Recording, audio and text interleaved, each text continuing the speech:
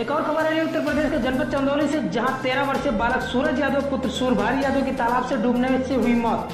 तालाब में भैंस को नहलाने ले गए डूबने की खबर। परिजनों को मिली तो मचा कोहराम।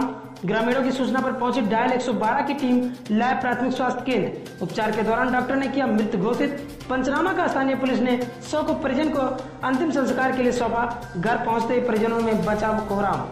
मामला बुलवा थाना क्षेत्र के पकौड़ा गाँव की है। हमारे संवाददाता ब्यूरो रिपोर्टर रविशंकर मिश्रा चंदौली से।